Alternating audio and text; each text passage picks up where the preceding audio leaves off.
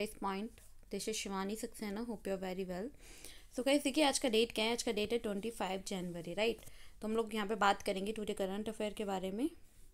Video and तक देखना है, क्योंकि मोस्टली जो न्यूज़ होता है आपके एग्ज़ाम के पॉइंट ऑफ़ व्यू से, वो हम इसमें कवर करने वाले हैं। देखिए, यहाँ पे फ़र्स्ट न्यूज़ क्या है? कि आपका जो चैट बॉट है ना तो यहाँ पे क्या होगा कि उसकी जो बढ़ती लोकप्रियता है, उसके बीच गूगल अपना एक chatbot A I chatbot launch करेगा। अब इसमें क्या होगा कि गूगल की एक कंपनी है चैट जीपीटी तो इसमें क्या होगा, इसके टक्कर ने टक्कर देने के लिए एक नया आई जो ए आई चैट बॉक्स है, वो तैयार करने में जुट रहा है। अब कंपनी का क्या कहना है कि इसको एक नया चैट बॉक्स एक तरीके से कई गुना अच्छा होगा और काफ़ी परफॉर्मेंस भी देगा। Chat G T P G P T तो है तो ये यहाँ पे काफ़ी अच्छा परफॉर्मेंस देगा। ये कंपनी का कहना है। अब जो डीप माइंड गूगल है तो उसमें क्या होगा कि जो आर्टिफिशियल इंटेलिजेंस है कंपनी है तो वो चैट जीपीटी को टक्कर देने वाला अपना एक नया A I chat chat box तैयार किया है, जो कथित रूप से क्या होगा ना, एक तरीके से उसका नाम स्पारोर होगा। तो इसीलिए आपको इसके बारे में अच्छे से पता होना चाहिए, ठीक है? तो ये काफ़ी इंपॉर्टेंट न्यूज़ है, इसको लेके थोड़ा सा अपडेट रहने का नीड है। और कोई भी डाउट है तो उसको कमेंट सेशन में आप कंप्लीट कर सकते हैं। चलिए बात कर लेते हैं हम लोग यहाँ पे नेक्स्ट न्यूज़ के बारे में। देखिए नेक्स्ट न्यूज़ हमारा बताता है हमें कि जो श्यामल भाई जी है ना तो पटेल जी, उन्होंने क्या किया है? एक अमूल अध्यक्ष नियुक्त उनको किया गया है। और अगर बात की जाए डेयरी जो सहकारी नेता हैं, शालम पटेल जी तो उनको गुजरात सहकारी एक तरीके से दुग्ध जो पीड़न होता है ना महासंघ तो उसका उन्हें अध्यक्ष चुन लिया गया है फिर से।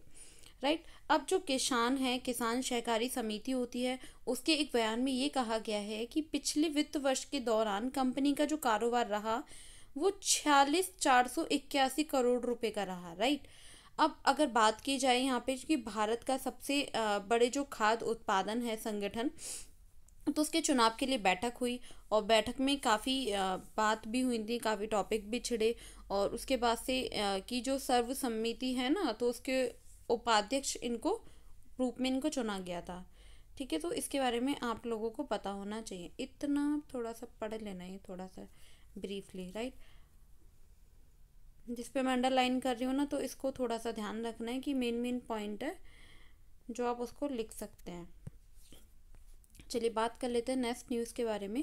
देखिए नेक्स्ट न्यूज़ क्या है? चुनाव आयोग प्रौद्योगिकी, चुनाव अखंडता और उपयोग में वैश्विक सम्मेलन के मजेवानी की। भारत का जो चुनाव आयोग है ई सी आई तो इसमें तेईस से लेकर चौबीस जनवरी 2023 तक नई दिल्ली में प्रौद्योगिकी चुनाव चुनाव जो अखंडता है, उसका उपयोग और विषय और दूसरे अंतर्राष्ट्रीय सम्मेलन की मेजबानी कर रहा है। साथ ही अगर बात की जाए कि चुनाव आयोग ने यह भी बताया है कि सत्रह देश चुनाव प्रबंधन संस्थाओं और तैतालीस प्रतिनिधि। अंतर्राष्ट्रीय संगठनों में छः प्रतिनिधियों में इसमें शामिल होने वाले हैं और इसे शामिल होने की उम्मीद भी की जा रही है। राइट? तो इसके बारे में भी आपको पता होना चाहिए इलेक्शन के बारे में। चलिए बात कर लेते हैं नेक्स्ट न्यूज़ के बारे में और हमारा नेक्स्ट न्यूज़ हमें बताता है थाई सेटलर। अब आपको यहाँ पे पता होना चाहिए इंडिया ओपन जो बैडमिंटन खिताब इन्होंने जीता है इंग्लैंड में कुन्नावुत एक तरीके से आ, बात की जाए यहाँ पे ओपन जो खिताब टूर्नामेंट इन्होंने बैट टूर्नामेंट प्रो सिंगल्स का खिताब जीत लिया है। नई दिल्ली में फाइनल आ, उसमें इनका नंबर आया है और इसके बारे में आप लोगों को पता होना चाहिए। आपको पता है कि महिला सिंगल्स का जो खिताब है वो दक्षिण कोरिया की आंसी यंग ने जीता है और उन्होंने फाइनल में जापान में एक तरीके से यामागुसी को पंद्रह से इक्कीस और इक्कीस से सोलह सोलह से बारह से उन्हें हराया।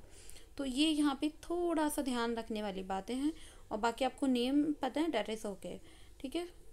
तो थोड़ा सा पढ़ लेना बेसिकली इसको। चलिए बात कर लेते हैं नेक्स्ट न्यूज़ के बारे में और हमारा नेक्स्ट न्यूज़ हमें बताता है, भारतीय वायुसेना भारत के पूर्वोत्तर भाग में अभ्यास प्रलय का आयोजन करेगी। यहाँ पे क्या होगा ना कि जो भारतीय वायुसेना है, पूर्वोत्तर भारत में एक से पाँच फरवरी तक बड़ा अभ्यास आयोजन करने जा रही है। और इसमें क्या होगा ना कि एक्सरसाइज का जो प्ले नाम दिया गया है, और बताया जा रहा है कि यह अभ्यास अगले कुछ दिनों में ही शुरू होने वाला है। मीन्स ये अगले कुछ दिनों में ही शुरू होगा, और जो वायुसेना होगा ना, भारतीय वायुसेना, उसके क्षेत्र में एस चार सौ एयर डिफेंस इसमें तैनात करके सक्रिय कर दिया गया है। साथ ही आपको ये भी पता होना चाहिए कि एस चार सौ एयर डिफेंस राइट तो इसमें क्या होगा ना कि दुश्मन में किसी भी विमान का हो या फिर मिसाइल तो उसमें 400 किलोमीटर की दूरी तक वो रोक सकता है उन्हें। और ये यहाँ पे काफ़ी बिग न्यूज़ है कि यहाँ पे 400 का मीन्स हुआ कि वो 400 दूरी तक आराम से इसको क्या कर सकता है? रोक सकता है। कोई भी दुश्मन है, कोई भी विमान है मिसाइल है, उसको रोक सकता है। चलिए बात कर लेते हैं नेक्स्ट न्यूज़ के बारे में और नेक्स्ट न्यूज़ हमें बताता है, जम्मू और कश्मीर सरकार अपना पहला सरल मेला 2023 आयोजित करेंगी। यहाँ पे क्या बताया गया है कि जो जम्मू और कश्मीर है, उनकी सरकार ने चार से, चार फरवरी से लेकर चौदह फरवरी तक अपना एक पहला सरस मेला तैयार के मतलब आयोजन करने वो जा रहे हैं, उसका 2023 का सरस मेला। और जो सरस मेला है, वो देश भर में कारीगर जो महिला है वो स्वयं सहायता समूह शिल्प हस्तशिल्प भोजन का जो प्रदर्शन करेंगे। साथ ही मेले का जो आयोजन होगा वो जम्मू भाग के ए, ए में किया जाएगा। तो इसके बारे में आप लोगों को पता होना चाहिए। और हाँ देखिए यहाँ पे क्या है ना कि जैसे सरस मेला है तो फ़र्स्ट ऑफ़ ऑल आपको ये पता होना चाहिए कि जो सरस मेला है, वो होता क्या है? सरस मेला क्या होता है कि जो ग्रामीण उत्पाद होता है ना तो उसको बढ़ावा देने के लिए, कारीगरों उनकी क्षमताओं को निर्माण करने के लिए ये एक भारत का ऐतिहासिक पहल है, सरस मेला। तो इसके बारे में आप लोगों को पता होना चाहिए। बेसिकली मैंने बता दिया है। चलिए बात कर लेते हैं नेक्स्ट न्यूज़ के बारे में।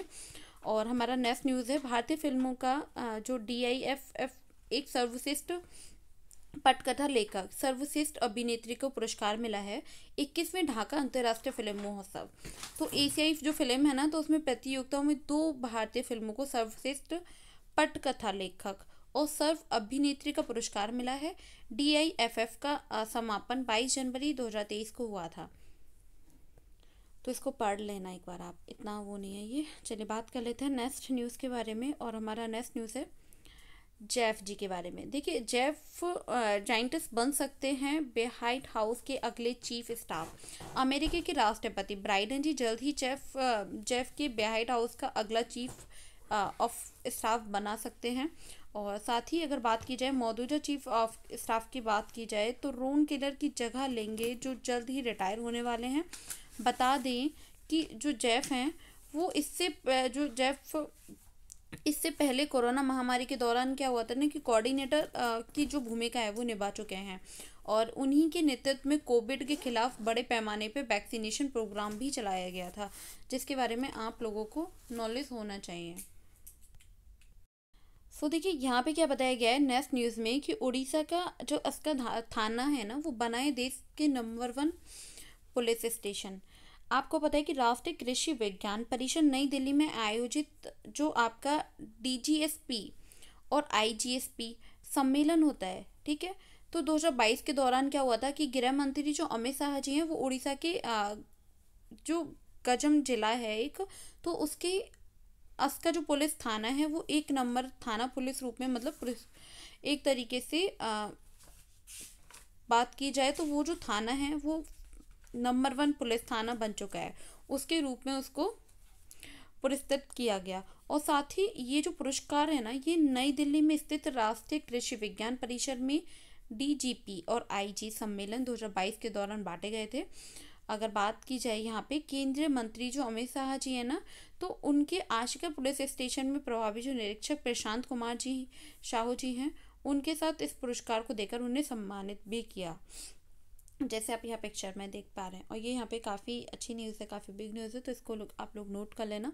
ऑलमोस्ट आपका जो न्यूज़ है टुडे का वो कंप्लीट हो चुका है। कोई भी डाउट हो, उसको कमेंट सेशन में आप मुझसे पूछ सकते हैं। आज के लिए इतना ही ओके और प्लीज़ वीडियो को लाइक कमेंट एंड शेयर तो कर दिया करिए जैसे कि वीडियो ज़्यादा से ज़्यादा आगे लोगों तक पहुँचे।